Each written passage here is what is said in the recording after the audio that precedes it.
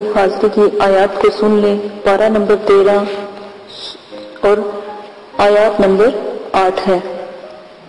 पारा नंबर तेरह, आयत नंबर आठ। आलिम हो से सुन लें, गलती की कोई गुंजाइश ना हो। आलिमुल गैबी व शहादती, व शहादतिल कबीरु कबीरुल मुतआल। आलिमुल गैबी व शहादतिल कबीरुल मुतआल। ये आयत है आप पुराने पाक से ज़ोर जबर पेश की गलती किए बगैर। आप पैरा नंबर तेरह, आयात नंबर आठ, लाजमन देख लें, इंशाल्लाह कोई गलती की गुंजाइश ना हो। अब इन वकलात को हाजिर करने का तरीका आप सुन लें अरूज जमा नौ चंदी जुमेरात बाज नमाज़ इशा, तनहाई में दर्जा जल आयात जो मैंने ऊपर आपको सुनाई है, सत्ताईस सौ छियासठ बार रोज़ाना आपने उन्नीस योम तक पढ़नी है। अव्वल आखिर द्रूद ग्यारह ग्यारह बार लाजमन पढ़ना है। द्रूद शरीफ भी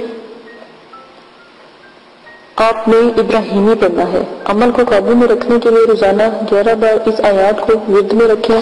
जब कभी हजरात की मोकल की ज़रूरत पेश आए तो इस परी या मोकल को इस आयात के ज़रिए आप बुला सकते हैं। आयात को 28 बार कम से कम आपने किसी पाक साफ़ शीशे के ऊपर दम करके या फिर किसी बड़े आदमी के ऊपर आयात दम करके अगर आप खुद देखना चाहते हैं तो शीशे के ऊपर दम करें तो आप उसमें भी इस जो परी है या मोकल है, इनको देख सकते हैं।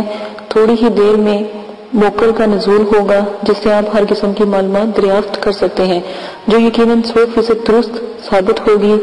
इन मोकल को आमिल खुद भी देख सकता है। वो इस तरह के जो ऊपर नक्श आपको स्क्रीन पर चलता हुआ नज़र आ रहा है, आपने नक्श के स्या खाने में थोड़ा सा अतर लगा के अपना मकसद जहन में रख के, ये अपना मकसद कायम करके आयात में इस वक्त तक आपने आयात पढ़ते रहना है, जब तक हाजरात हाजिर ना हो।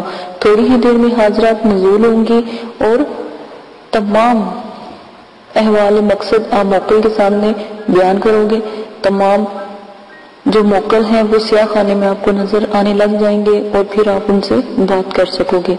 ये बहुत ही नायाब अमल है। छोटे और बड़ों पर बहुत बहुत अच्छे तरीके से काम करती है। आप लाजमन इस आयात के मोकल को ज़रूर हाजिर कीजिएगा। ठीक है? और इनसे आने का लाजमी पूछ लीजिएगा ये जो जो मोकल की हाजिरी है, ये आप शीशे पर, अंगूठी पर और अंडे पर और चराग की लोगों पर बसानी देख सकते हैं। इजाज़त दें इसी के साथ। दुआओं में याद रखिएगा। मेरे चैनल को सब्सक्राइब करें, शेयर करें, कमेंट्स करें, लाइक करें, ताकि आने वाली तमाम वीडियो आप तक तो बसानी पहुँच सके और शेयर करें, ताकि और भाइयों का भी जो है मसला हल हो परेशानी खत्म हो। इजाज़त दें। अल्लाह हाफिज।